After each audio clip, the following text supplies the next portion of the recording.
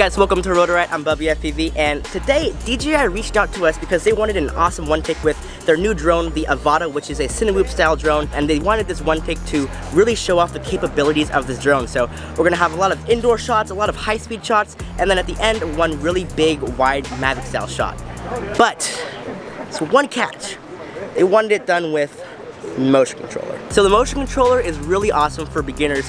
It's really intuitive to use, but when we're trying to get really cool shots, and if you're a pro, the capabilities of what you can do with it are a little bit less than when we're using our normal two joystick style of radio. So it's gonna be a challenge, but today we're here to prove that the motion controller can get some really, really awesome shots. For a shoot like this, we have to prepare so much, so let's go ahead and rewind to the morning. Guys, this is Brandon. He is uh, Kazi FPV, but he's also the director of the shoot. So he, uh, you know, he flies FPV and he's really good at it. So he kind of knows the capabilities of the drone. Yeah, we worked together on the roller skate video. Yeah, the Pretty Fly Skate shoot. The Pretty so. Fly Skate. I directed that one too. So the day started really early. We had to wake up at 5:30 a.m. to drive to our location. The three-hour drive took us from California all the way to Mexico. Once we got there, we scouted out the location, and I was super excited for this one shot because the environment there was absolutely perfect. It took us about two hours to find the correct route for us to fly, taking into account video reception and also what would be a really cool visual for the audience. We went ahead and did a range test to see how far I could fly the Avata, and after flying it, I was really impressed with how many houses we were able to fly in between. It's a really good drone. Like, once you see the shot that we're able to get, you'll be like, okay, Bubby, I see. After that, we walked the actors through the route that we were gonna fly and started practicing what they would be doing. We also got all of the areas prepped for the shoot so that it would look really cool. So at this point, all the actors knew what they were going to be doing and knew where they were gonna be, and we were just about to start our practice runs with the actual drone. And then this happened. It's all the same that. thing. Why what would you, you, what you guys do that? are doing right you now. don't even live here. You can't do it. You can't do that here. Yeah, okay. Well, we'll you can and talk if you to guys Ru- go and you post that stuff, you're definitely putting Oh, yeah. F***ing chip in our preservation. Yeah, we're, we're what not trying, to, have do we're here. not trying to do that at all. This is just part of the deal, dude. Yeah. for Honestly, sure. seriously. So some of the neighbors did not like the idea of their village being shown on YouTube in fear that their location would be given away. They come to you and tell you? Yeah, yeah, yeah. And they stopped us and then they're like, this is our place. And we don't want this going online. And I'm like, we can have them talk to us. Like, yeah, we'd love to talk to them. Okay, no problem. He'll handle it. Got it.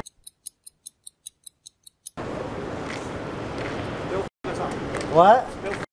What do you mean? If we try to shoot it, they almost they almost got physical with me. Shut up. I swear. So we'll go behind them. We just won't go that route. Well, they're not gonna know. They will. I told you, I should have gone with you. Man. No, it would have been worse. Trust me. I, yeah, I was the I'm the only one that lives here. That's the only thing that they want. They just But they think that we're just gonna blow this place up. Yeah. That's not the, that's not the idea. they were they were ready to like snap. I mean, if they're physical, we can.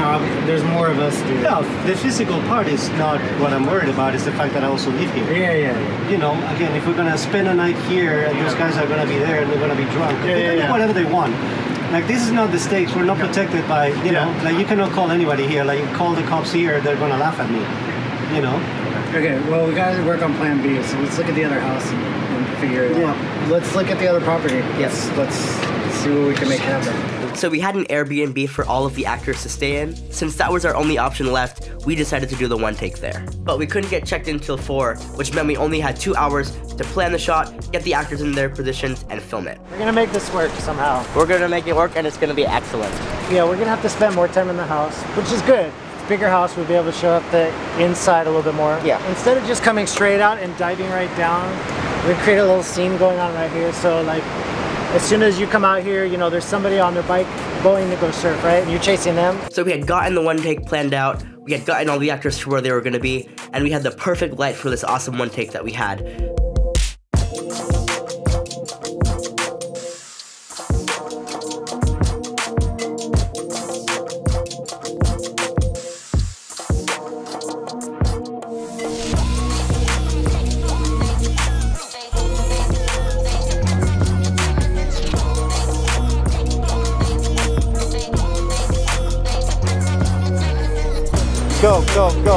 Go, go, go. Yeah, you got it, you got it, you got it, you got it, you got it.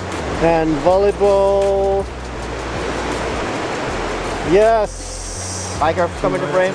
Yep. The skimboarder coming to frame. It's not there. We missed him. No, we got, no, we good. We good. He's going for it. He's going for it. He's going for it. Yeah, he's on it, dude. Get down in there. Get down in there, Caleb. There you go. Sick. And then pull up for the establishing shot. There you go. Pull up. Oh! Pull up for the establishing shot. Oh, that was epic, dude. But at the end of the day, once we reviewed the footage, we didn't love the flight path that we took.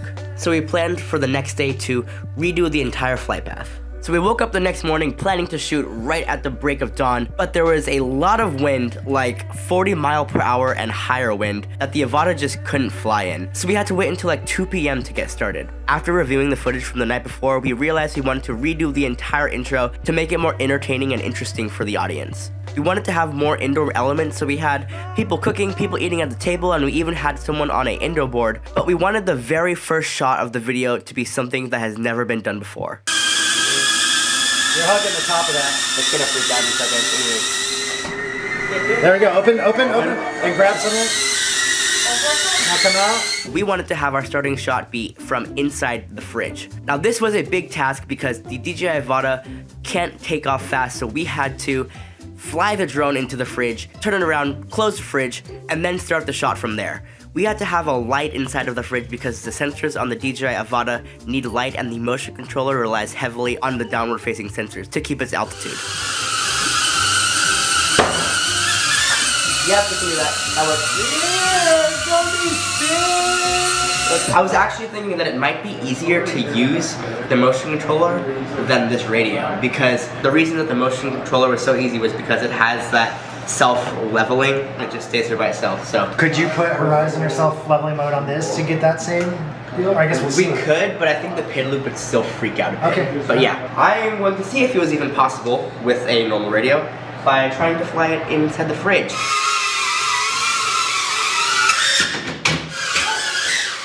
Whoa, so hard. That is. that is ridiculously hard. If you want to fly your drone in a fridge, use the Avata.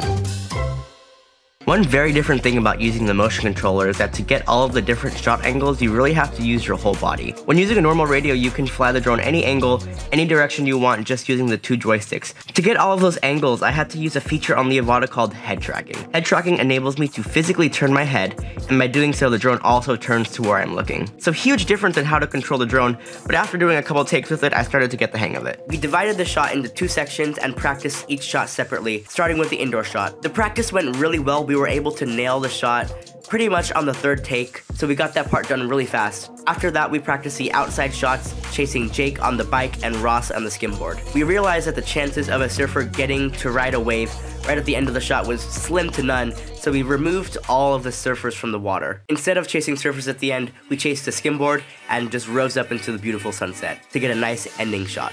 By the time we were done with our practice, we had very little time left. We were fighting the sun, our actors had to go home to get with their families, so we had to get this shot in the next 30 minutes.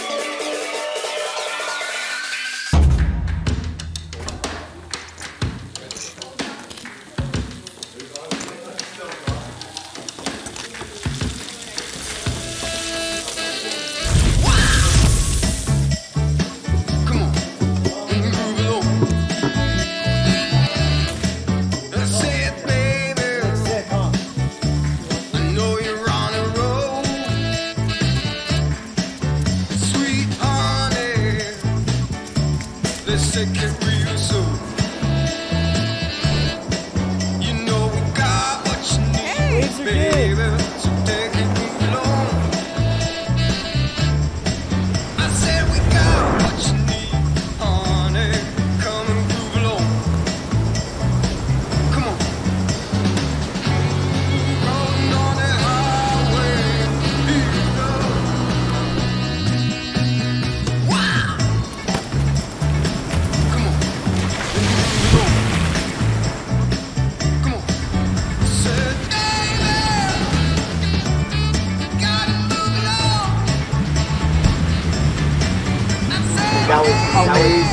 great.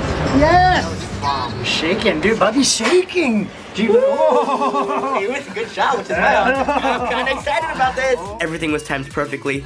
Everything was awesome. And we were really happy with the shot that we got. After we did the shot successfully with the drone, Brandon, the director, went ahead and got sound of all of the elements that were in the video so that he could make an awesome sound design track to go with the video. Because this thing screams, and you can't get audio while this thing's going. Alright, so Ruben, have you ever flown an FPV drone before? Uh, FPV drone, first time in my life. This is your first time flying. Wow. So these are the goggles. And one thing I want you to know is these are, you can Yeah, twist these for adjustment good. and you can move them in and out. Yep. So you're gonna go forward and to turn it, you're gonna tilt your hand this way or this way. You're kidding me. All right, so let me go ahead and take off for you. You point Okay. that little thing where you're going, right? Yeah, once once you see the little the little circle in the middle of the screen, Yep, that see means it. it's ready. Yep, so you can go forward. He just said we.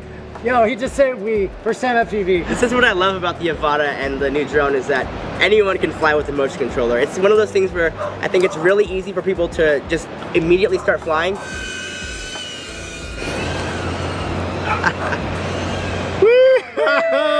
that gave me vertigo, man. We finished the shoot. Let's go. It's super awesome. we had a bunch of roadblocks, but we persevered because we had such an awesome team. Everyone here, thank you guys so much. I want to give a special shout out to Brandon and Ruben. He directed and Ruben helped produce it, so they did an absolutely awesome job. Guys, if you like this video, please hit the subscribe button. See you guys in the next one. Peace. Yeah!